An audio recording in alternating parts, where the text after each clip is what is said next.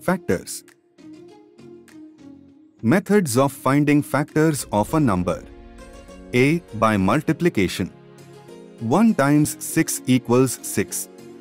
2 times 3 equals 6. 3 times 2 equals 6. 6 times 1 equals 6. B. By division. 6 divided by 1 equals 6. 6 divided by 2 equals 3. 6 divided by 3 equals 2. 6 divided by 6 equals 1. 1, 2, 3 and 6 are factors of 6.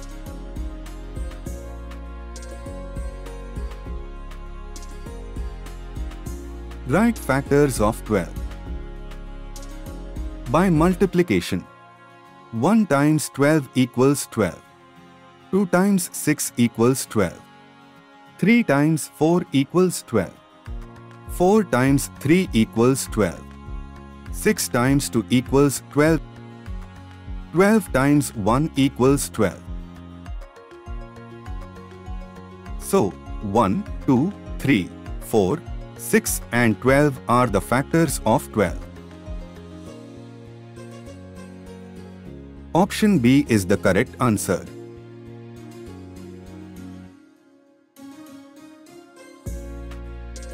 Which is the factor of 72 from options given below? 72 is completely divisible by 8. So 8 is factor of 72. And option C is the correct answer.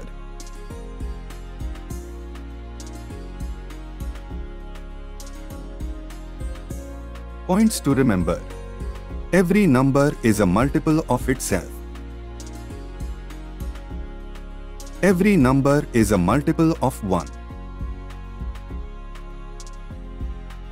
Every multiple of a number is greater than or equal to the number. The smallest multiple of a number is the number itself. 1 is a factor of every number except 0. Every non-zero number is a factor of itself.